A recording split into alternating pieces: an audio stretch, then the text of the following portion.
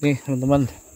Jembatan daruratnya kalau lewat jalur yang ada banjirnya sama agak kerawak nah lihat. Tuh.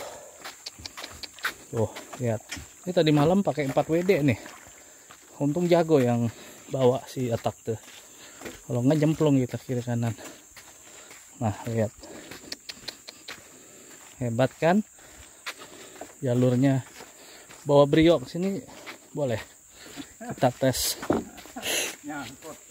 Mm -mm. Mana kita lihat. Nah tuh belakang. Huh, yuk, yuk. Ini harus banyak keseimbangan.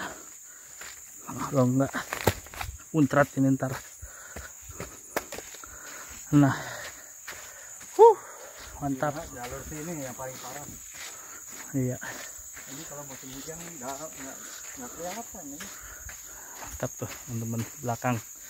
Jalur ekstrim buat olahraga mantap ini. Sehat.